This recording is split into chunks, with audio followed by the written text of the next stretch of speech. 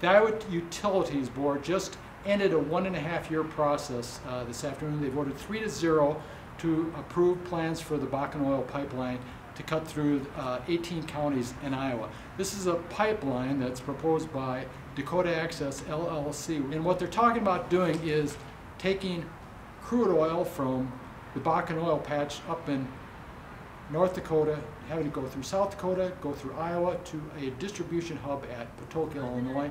This has been a controversial project. A lot of people who are environmentalists have been opposed to it.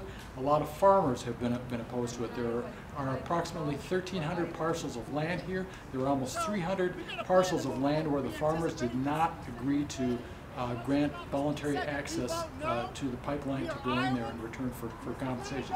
A lot of farmers did do pretty well, though they got some payments uh, and agreed to let the pipeline be buried on their, their farmland. It's going to go underneath their farmland, and uh, they will be able to, to farm on the land, raise crops after this pipeline is built. The entire pipeline, the company says it will be built all this summer.